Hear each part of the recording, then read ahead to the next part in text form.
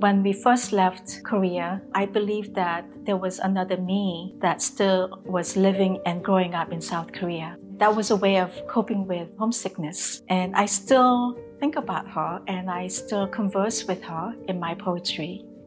My name is Don Mee Choi, and I am a poet and translator. I really didn't think about Korean and the US history are intertwined until I began translating. I eventually realized how my own life was deeply shaped and impacted by the US imperial wars in Asia. I started to think that translation was a political act. Even though I am writing about historical events that took place in South Korea, I am actually also trying to understand my life in relation to what took place. I like the fact that I have pushed myself to push the boundaries of poetry by incorporating images and photographs and drawings, prose, interviews, that I don't stay static, but I'm always challenging myself to push the way I write and challenge the notion of what poetry is or what poetry looks like or what poetry can be.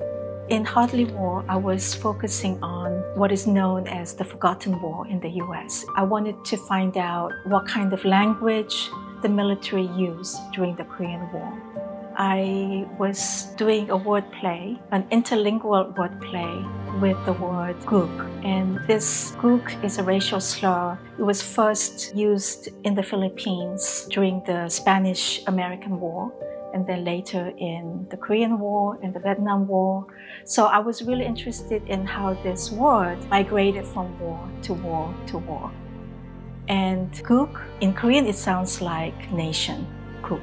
And it also uh, sounds the same as soup. In Korean, mi Guk means America. So I wrote mi equals sign Guk, mi, Guk.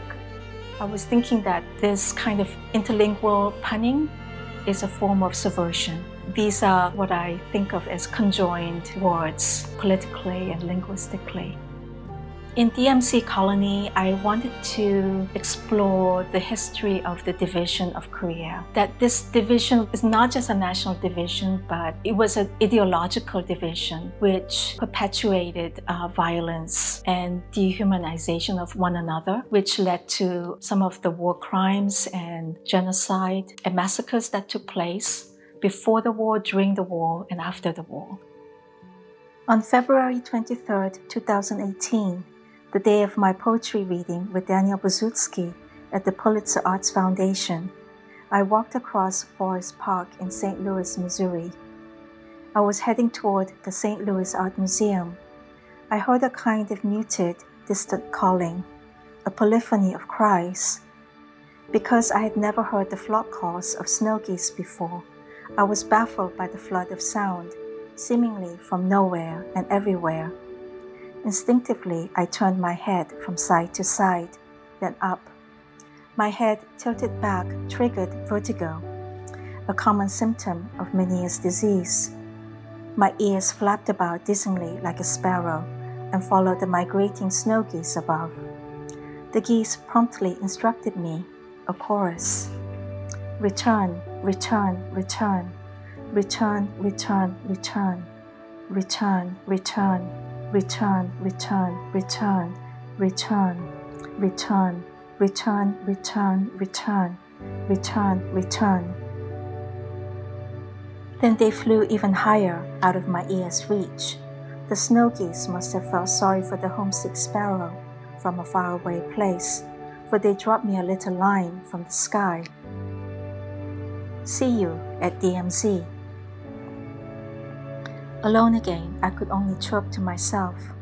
Translator for hire. Hire, hire me.